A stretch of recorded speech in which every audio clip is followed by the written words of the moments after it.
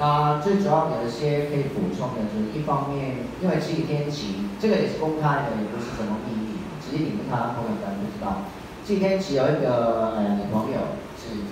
在加拿大读书的，啊，其实那个时候她也是也是常常去听审。那我是我看到这个景象就觉得就是很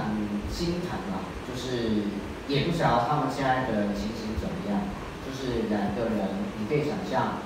女的，然后天琪后来就入狱了嘛，也也根本没办法保释出来，所以看到这个是令人相当的难过啊，坦白讲，因为他的罪名，坦白讲，那个时候的暴动，他只是丢了一个什么箱子往前面，就说他暴动了，就对比现在这个，他每天都在暴动啊，简单说啊，所以这个是他是走得很前的。那另外一个是他在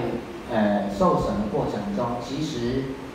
都是非常冗长的一个状况，就是每一天去听审，他们就拿那个警察那个他们那些影片就放放了就可能放半小时一小时，然后反正简单说他们的律师费都这样赚的啊，所以就一直拖一直拖，所以拖了很久才才有啊。另外补充有他有几个暴动罪。所以当你每一条暴动罪都去告一次，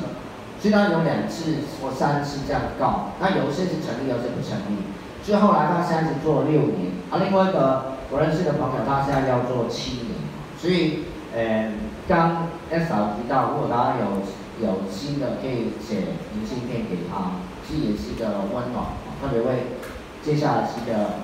过年的时候，他只是稍微跟大家补充一下，希望大家继续。关心香港，支持那个台湾的关注组，谢谢。